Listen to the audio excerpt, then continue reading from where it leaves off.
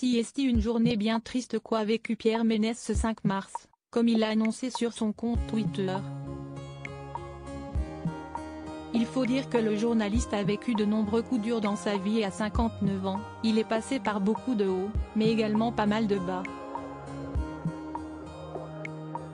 Après être passé par le journal L'équipe, le natif de Paris s'est fait connaître du grand public en participant pendant plusieurs années à des émissions consacrées au football sur Canal+.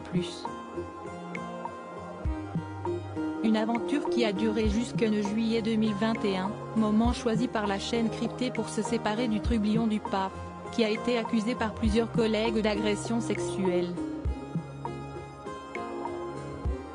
Un départ très médiatisé, mais ce n'est pas la seule affaire dans laquelle Pierre Ménès est impliqué.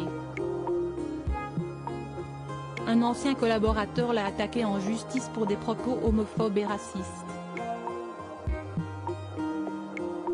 Le jugement a été rendu le 6 février dernier et une ordonnance de non-lieu a été adressée par le parquet de Nanterre à l'encontre du journaliste. Un soulagement forcément pour le compagnon de Melissa Acosta, qui est également poursuivi pour des faits d'atteinte sexuelle, des attouchements au niveau de la poitrine et du ventre par une hôtesse du Parc des Princes. Dans ce cas, le jugement n'a pas encore eu lieu, mais ce n'est pas vraiment ce qui préoccupe l'ancien collègue de leur boulot actuellement.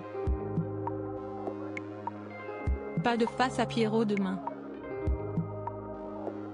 Je suis désolé très actif sur Twitter, où il est suivi par plus de 2,5 millions d'abonnés, Pierre Ménès vient de faire une triste annonce à sa communauté. Ce dimanche 5 mars, en milieu d'après-midi, le journaliste sportif a révélé la mort d'un membre de sa famille.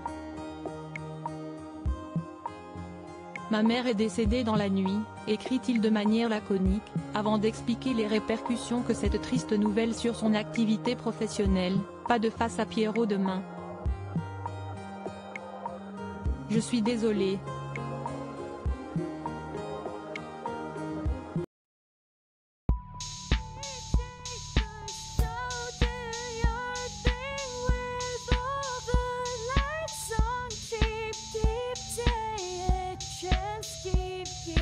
yeah.